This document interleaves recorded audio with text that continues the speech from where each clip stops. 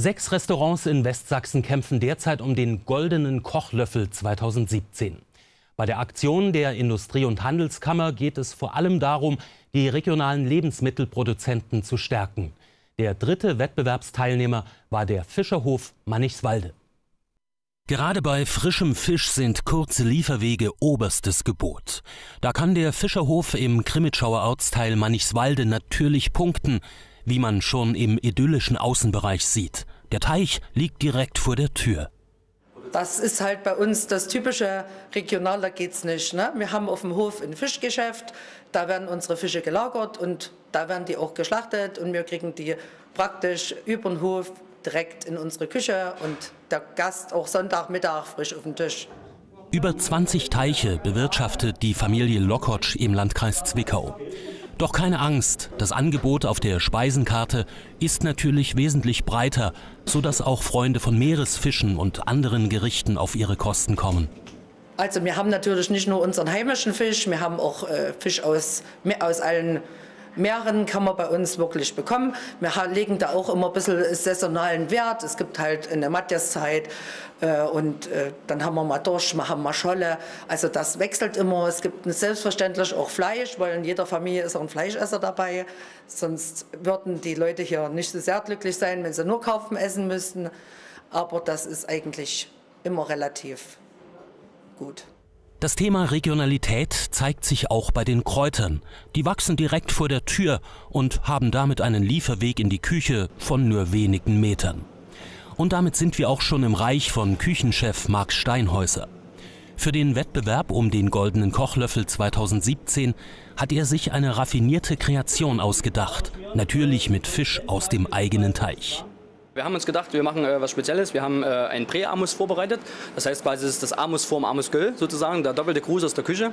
Äh, der wird quasi äh, aus einer hausgeräucherten Konsumé entstehen, da unser Räucherofen unser, und unser Fischverkauf im Vordergrund stehen sollen. Äh, ja, dann haben wir uns gedacht, ein Amus-Göll, ein Gruß aus der Küche, noch als zweiten Teil, in dem wir halt ein bisschen mehr, äh, wo wir uns gesagt haben, wir machen was Besonderes, wir machen einen Tag am Meer ganz besonders, wo wir halt auch drei äh, spezielle Produkte aus dem Meer für Sie vorbereitet haben.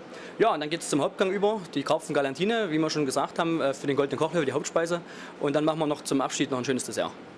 Der Tag am Meer als Gruß aus der Küche bot alles, was einen guten Tag am Meer so ausmacht.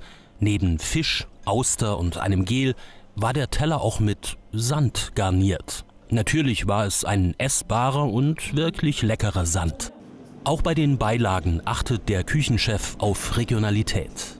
Unsere Kartoffeln sind vom Biohof Harnischhof in Hartau, ja, das ist bei Obervira und äh, das Gemüse auch von dort. Wie gesagt, die größeren Bestellungen machen wir auch über Fruchtexpress Altenburg, ist äh, jetzt aber als Direktvermarkter für uns erstmal uninteressant, sind sie natürlich auch. Ja, und äh, ganz toll unser Vordergrund, unser Karpfen, wie auch unsere Forelle, unsere Saiblinge sind aus der eigenen Fischzucht vom Herrn Thomas Lokotsch, da wir direkt als Direktvermarkter auch stehen. Für den Wettbewerb ist das Hauptgericht der entscheidende Punkt. Jurymitglied Mike Arnold hat sich eingehend mit dem eingereichten Gericht befasst. Ja, es liest sich sehr gut. Äh, wir haben hier wieder, ich muss immer sagen, einen Klassiker. Wir haben eine Galantin diesmal drauf. Eine Galantin ist normalerweise auch vom Geflügel hergestellt, eine kalte Vorspeise eigentlich.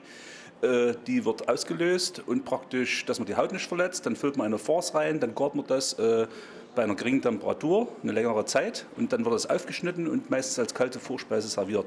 Hier ist es warm interpretiert. Äh, es ist praktisch eine gefärbte Farce drin, also dass man das Schnittbild dann auch sieht. Das ist ja Karpfenfilet, was wir heute haben. Das ist praktisch äh, mit dieser Farce gefüllt und dann entsprechend durch dieses Schnittbild sieht das dann auch auf dem Teller wunderbar aus. Was mich dann auch interessiert, ist dieses Miso, was hier drauf steht. Das ist praktisch eigentlich aus den japanischen. Äh, das ist eine Würzpaste, die wie gesagt, äh, hier verwendet wird und wie diese Sache funktioniert. Diese, dieser Rohstoff, der also vor der Türe wächst, sage ich mal, in den, in den vielen Deichen, na, äh, wie das mit diesem äh, asiatischen Einschlag dann funktioniert. Das würde mich interessieren, auf jeden Fall. Dann war die Jury gefragt. Es zeichnet sich bereits jetzt ab, dass die Entscheidung nicht leicht wird. Die Köche haben die Fischgerichte auf einem sehr hohen handwerklichen wie auch künstlerischen Niveau zubereitet und präsentiert.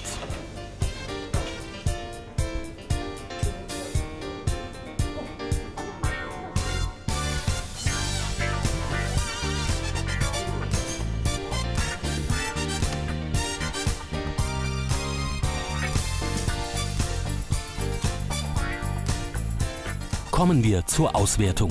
Wie die Speisen aussahen, das haben Sie ja in den Bildern gesehen. Ich bedauere es natürlich zutiefst, dass es kein Geschmacksfernsehen gibt. Also geschmacklich haben Sie etwas verpasst. Das muss man so festhalten. Aber ich bin jetzt echt mal auf das Juryurteil des Profis hier in der Jury gespannt. Das war doch klasse, dieser Beitrag, oder? Es war eine super Sache. Ich hatte ja gesagt, ich bin auf bestimmte äh, Sachen gespannt gewesen. Einmal auch auf die Füllung von dem, vom Fisch, von den Karpfen. Erstmal war der Karpfen schön filetiert und es waren keine Gräten drin. Das ist immer ganz wichtig, auch für den Gast. Und äh, ein sehr schön abgeschmecktes Aroma. Die Kartoffeln außenrum, auch wieder ein klassischer äh, Zubereitungsart.